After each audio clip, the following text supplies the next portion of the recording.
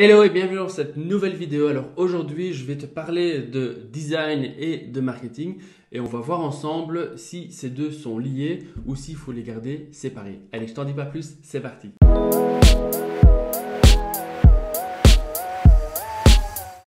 Hello, moi c'est Kevin et donc aujourd'hui je voulais te partager un état d'esprit, c'est-à-dire que j'ai trouvé un article de blog sur internet euh, qui se trouve sur euh, donc c'est designinnovation.be, donc c'est un, site belge et je voulais te présenter ça pour euh, te partager ben, ma manière de voir les choses par rapport au design et au marketing car est-ce que moi je me demande si le design et le marketing ne doivent pas être combiné. Euh, je pense que c'est quelque chose qui est en marche déjà depuis quelques années, mais je voulais en faire une vidéo pour euh, ben, euh, parler sur le sujet, pour partager avec toi ben, mon point de vue et de voir aussi qu'est-ce que toi tu en penses.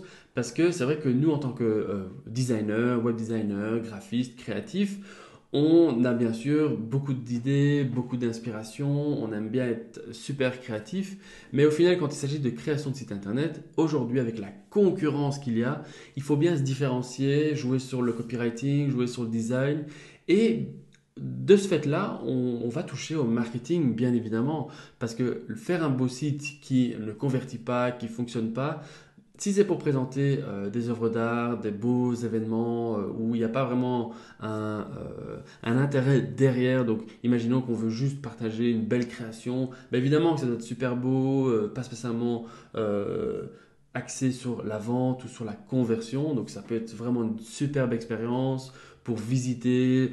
J'adore d'ailleurs scroller, puis tu passes à gauche, à droite. C'est vraiment très chouette et de superbes expériences.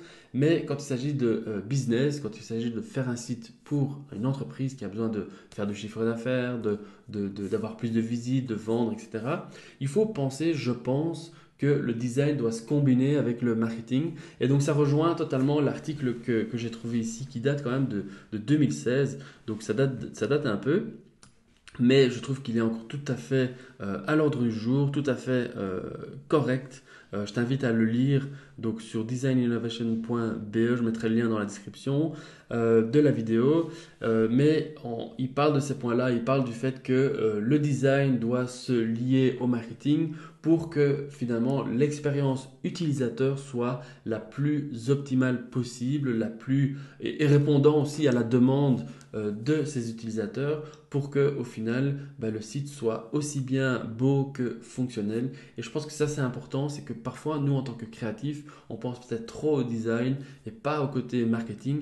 Mais au final, euh, quand on veut un site internet, c'est pas juste une carte de visite, c'est pas juste un site vitrine où on va comme ça euh, montrer des choses. Sinon, aujourd'hui, à quoi bon d'avoir un site euh, vitrine si, alors qu'aujourd'hui, avec le digital, on peut le rendre, ça peut remplacer un commercial sur la route, ça peut être un, bon moyen pour euh, partager des infos avec un blog, euh, amener du trafic, euh, donner des conseils, attirer les gens à remplir un questionnaire.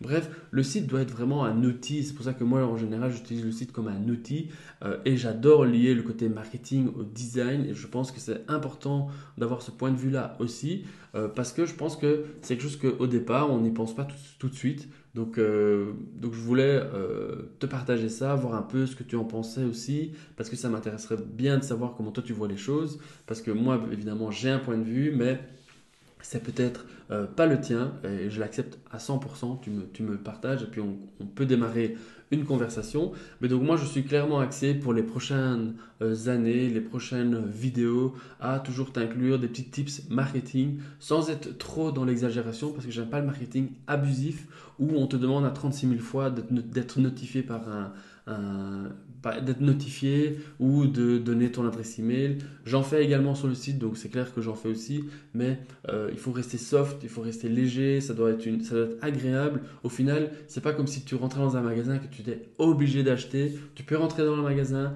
découvrir ce qu'il y a, et puis tu, tu, passes ton chemin, et peut-être qu'une semaine, deux semaines après, tu vas repenser à ce site internet, et tu vas revenir, tu vas retrouver ce que tu avais euh, trouvé peut-être la première fois, mais que tu n'es pas passé à l'action. Et là, il suffit que le bouton soit bien placé pour pouf, cliquer dessus, prendre un rendez-vous, remplir un devis, remplir un questionnaire, euh, télécharger un e-book, bref, n'importe c'est vraiment comme ça que moi je vois les choses. donc voilà, n'hésite pas à cliquer sur le lien, aller voir l'article en question.